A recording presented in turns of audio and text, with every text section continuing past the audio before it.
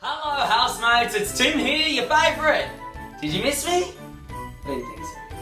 I just want to give you all a very special Merry Christmas message and let you know I have a little surprise for you. In the spirit of Christmas, I want to give each and every one of you $500. Call it a payment for being on my show this year. I know how much that. Maybe it's more like compensation, but it is a gift of $500 cash to all 20 housemates, even the intruder Justin. And I'm not even forgetting the very four-legged housemate Mr. Clooney either. You'll also score 500 bucks cash. But there is a twist. There's always a twist.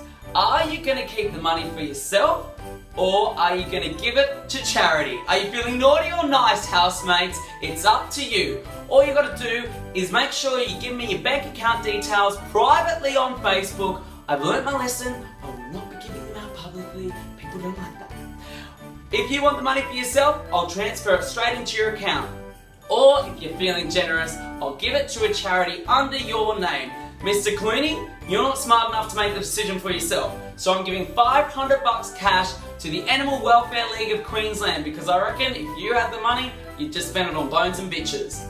It's your choice, housemates. You decide, are you naughty or nice? Merry Christmas! Oh, and if you are wondering, yes, my outfit did shrink in the wash.